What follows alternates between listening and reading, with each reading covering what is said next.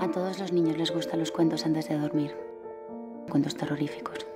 Historias terribles sobre gente malvada que se aprovecha de los demás. Yo era la excepción.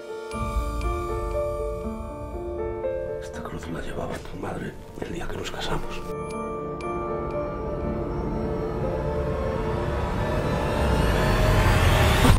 De rodilla. Estás completamente loca. Yo solo quiero protegerte. No entiendo cómo un hombre me puede hacer más daño que tú. ¡Desagradecida!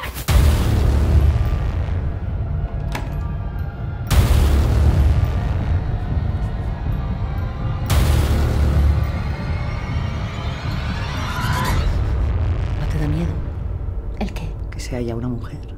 Para mí no lo es.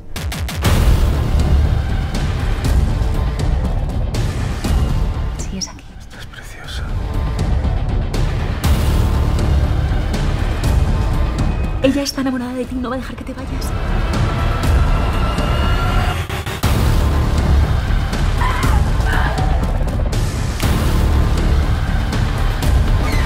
¡Salga de mi casa!